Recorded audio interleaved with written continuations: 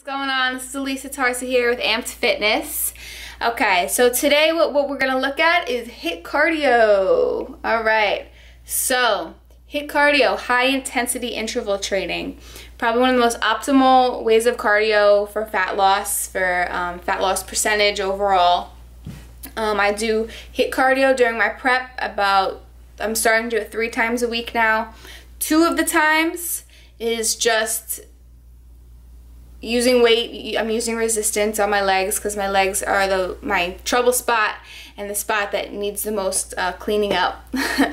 And one day of the week i'll just do um, body weight intervals so sprints um, just with my own body weight no resistance.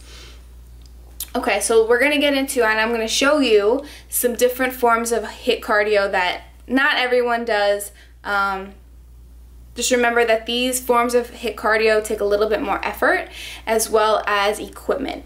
So if you know somebody or if you want to go invest in some equipment, then by all means, I think it's a great investment for your own health, um, especially if you're competing.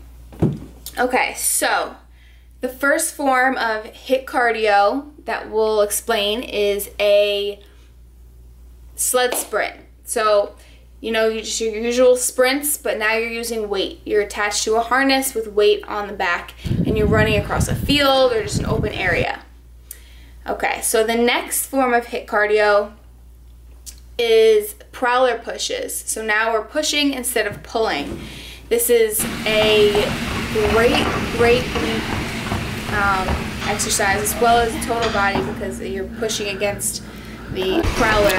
Um, you can also do car pushes, truck pushes. This, no excuse, okay? If you have a car, you know someone has a car, push it down the street a few times. And there's your HIIT cardio. It's really tough. Okay, so the next form of HIIT cardio is um, some uh, tread sled. So a tread sled is a lot of football players use it um, for conditioning. Um, so you can either push against the machine. There's like a board against you can push against, um, which is similar to a prowler push. Um, or you could run against the resistance, which I like to run against the resistance, which is um, similar to the um, sled sprint. And the next form of HIIT cardio is um, bike intervals. So this is a, a Wingate, um, a form of a Wingate. So what that is, if you're wondering, is a you're on a cycle, you're on a bike that's in a gym, or you might have one in your home. Um, you're on the bike and you're going against the highest resistance possible as fast as you possibly can.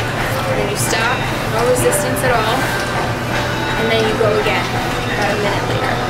Alright? So those are some forms of HIIT cardio that can change up your routine a little bit and you can watch them as I'm going to explain and watch um, for you guys. So if you have any questions, you can comment below and I'll make sure I answer them for you.